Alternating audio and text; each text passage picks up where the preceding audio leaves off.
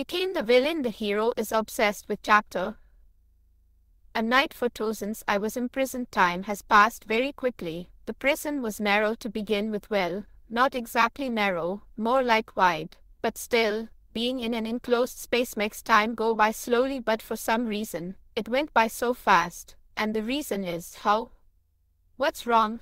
Because of her next to me, of course. I looked over at Stardust, who was sitting next to me, squinting and working, and I couldn't help but smile. It's been a few days since we've been in this prison together, and in that time, I've found myself growing quite a bit closer to her.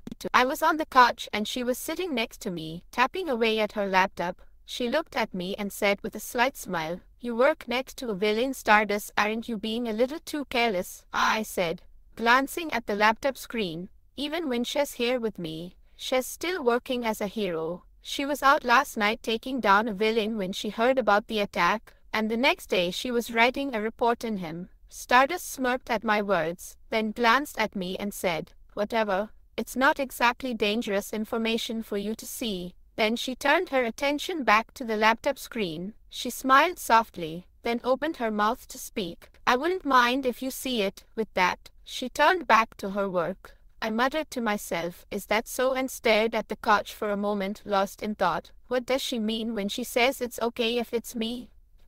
Is it because I'm a safe villain who wouldn't do anything dangerous with her secrets if I saw them? Or is she just saying something to sway my mind? Or is it? Ye, what the hell am I going to do now? Ah, I shook myself out of my thoughts and listened to the sound of her typing next to me. Tapping, tapping, tapping. Just like that time passed quickly as she and I worked on various things together for nearly a week. A week. How is it Delicious Stardust, you're a good cook, aren't you? I'm not going to let you off the hook for flattering me like that, haha. Did you catch me? I'm not lying when I say it's delicious. Want some more? I take a bite of her dish. Hey, Egostic, dip, dip. It was sent to me by a fan, but I'm bored. Do you want to try this, Shenge? No, where the hell did you get this? You don't have to This looks like fun. Let's do it. We played a board game together and I have no idea where she got it, Egostic. Yes, Stardust, from now on when we're together, don't call me Stardust, call me Shinharu, my real name, real name. It's ridiculous to call me by my hero's name when it's just the two of us. Um, oh, okay, Shinharu. But do you mind telling me your real name so I know who you really are? You already knew that, haha. And now, tell me your name. Oh, in wait, you're leading me on so naturally, haha. Just call me Egostic. Actually, I couldn't give her my name, even if I wanted to, because it already sold it once before on the beach. Even though it might not be in the government's records, this is a little uncomfortable. Is that why you don't like it? No. Here, let's see what this is. And I even took a walk outside Carquis, with her in one hand and the ability limiting cuffs on the other. Then I realized that this island in the middle of a stormy sea was actually quite scenic during the day. There's even a park in the middle of it. It was probably designed for the inmates to come out for lunch. But since they never let the able-bodied out of their cells, there didn't seem to be anyone else there except us, except us. We walked through the park with one handcuff on my left hand and the other on her right. A gentle ocean breeze was blowing, and the sound of our words echoed in the middle of it all. At some point, I noticed her glancing at my cuffed hands, which were now linked together like bracelets, and I opened my mouth to ask, What's wrong? No. Aren't you a little cold? As I watched her wiggle and talk like that, I opened my mouth to answer, Yeah, I know my hands are getting cold. I said, and she walked over and reached for my fingers. I take her hands in mine and hold them tightly, as if it'd been the first one to embrace them. It's warm now, isn't it? Yes, she nodded, her face slightly flushed. I turned my head and looked toward the forest with a feverish expression on my face. I think I know her behavior pattern now. In guessing she might be a charmer. It was like she decided to just seduce me and get me to like her enough to turn myself in and tell her all my secrets. But what if ah, I liked her in the first place? It done all this for Stardust. That's why her plan didn't work on me at all. Nice, the view, yeah. I clasped her warm, soft hand in mine, against the cold sea breeze. We walked through the park in silence, her warmth keeping me going, just like that, we enjoyed our prison escapades. To be honest, I enjoyed it. Who am I in the first place? I'm Stardust's biggest fan, probably more than anyone else in the world and I can't imagine not liking spending time with her like this. Of course, there were a few times along the way when she wasn't around. Egotistic, there's been a terrorist attack in Seoul, so I'm off. Okay, bye. Just like now, when there was an attack, being a hero, she would be the first to fly. After all, her flight speed is fast enough to get from here to Seoul and back in a flash. Can you not run away? Ah, I won't run away, so don't worry. After I reassured her, she looked back at me with anxious eyes, and finally she left. I was left alone, wondering what to do, when I suddenly realized something. Wait, why did I come here? I came to kill a creature from the beginning of time. A wish granter who sleeps in the deepest depths of this prison beauty was so busy playing with stardust that I forgot. Then I realized that tomorrow would be a week already. It was time to hunt down the wish granter. The wish granter. With that, I sighed as I reached into my coat hanging in one of the closets and found the enchanted recording divisively tucked away. It was time to tell Stardust and execute the operation sometime tomorrow. Finally, the moment had come to part with her, and at that time is, it's Haru. Oh, why, who, nothing I've been sharing a room with Egostic lately, keeping an eye on him, but we don't seem to be getting any closer than I thought in the office of the president of the Yusung Group. Lucilla was listening to Stardust with a blushing face, her head, her head bowed and her fingers fidgeting as she spoke. I envy you, Haru.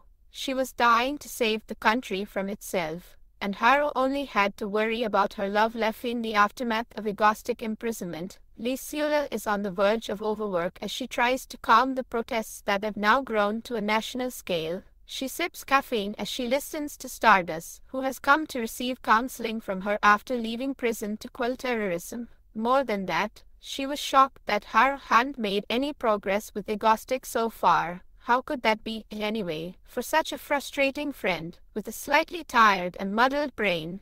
Lucilla gave her some serious advice. Haru, you two should have a drink together. Drink? Alcohol is supposed to break down barriers and bring people closer together.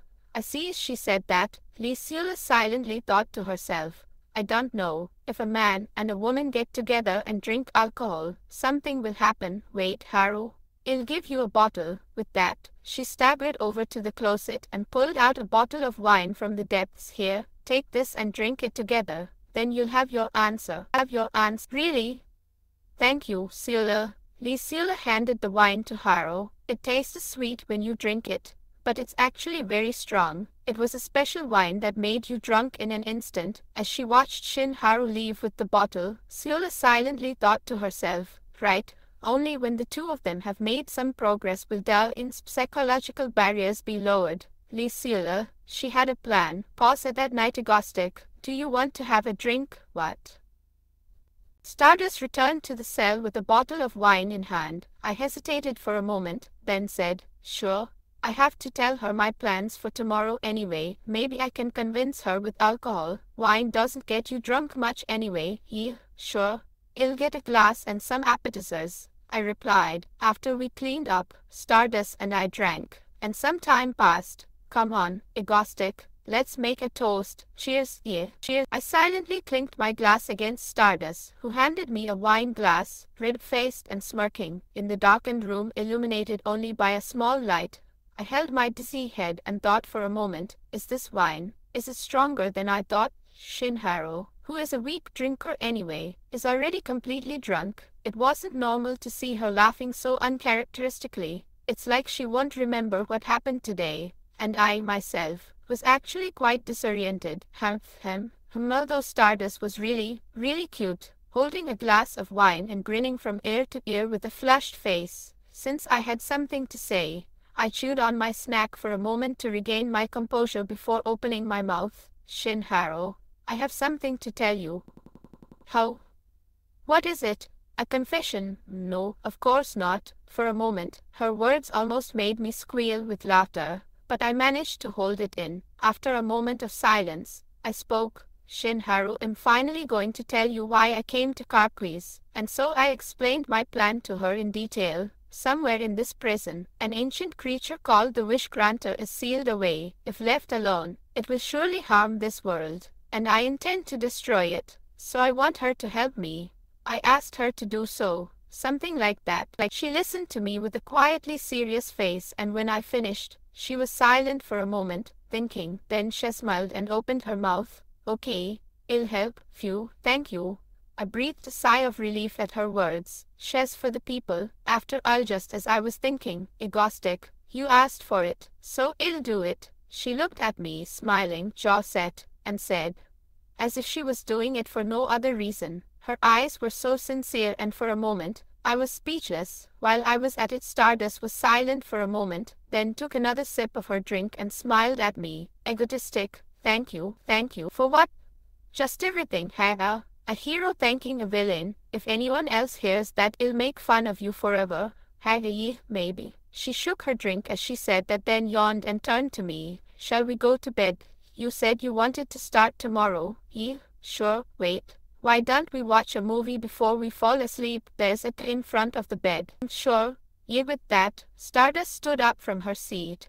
I watched her stagger for a moment, then quickly rose with her, standing beside her to support her. Her soft arms slipped into mine. I pushed the strange thought out of my mind as we reached the bed, and together, Stardust and I fiddled with the remote, turning on the television and scanning for a movie to watch.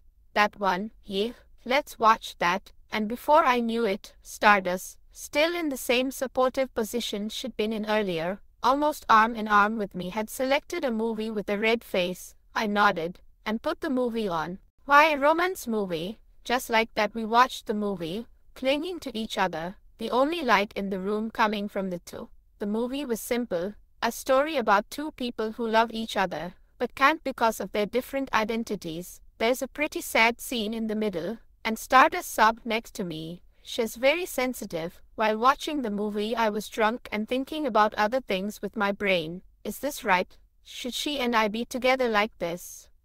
What does she, the hero, think of me? the villain? Is it just a ruse, or is there more to it? I don't know. My head hurts and I can't think straight. Straight, but I do know this. I am, and always have been, single-minded. So I watched the movie in silence, feeling her warmth on one side of my arm. And so, at last, in the movie, their love is realized. Egotistic. Stardust called out to me, quietly, and I met her blue eyes, watery, looking up at me. I gave up trying to think anymore just like that, on the dark bed. Locking eyes with her, I moved my face silently closer to hers. After that, I don't remember much. Remember much.